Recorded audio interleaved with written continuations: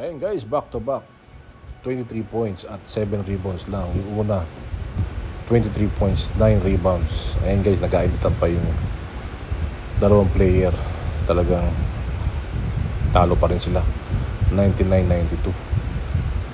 Pero hindi pa rin nakita yung 20 to 40 touches at yung talagang itatagal niya at uh, limitado lang talagang hinahati ng coach nila ang laro.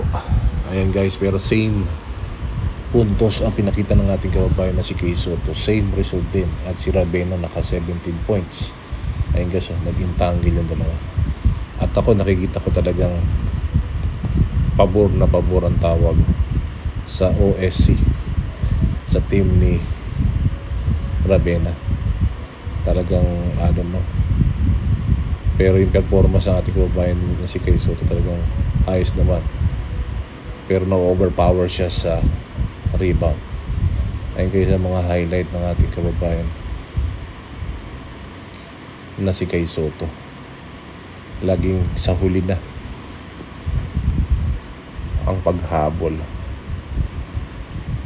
Ayan guys, panoorin natin ang highlights.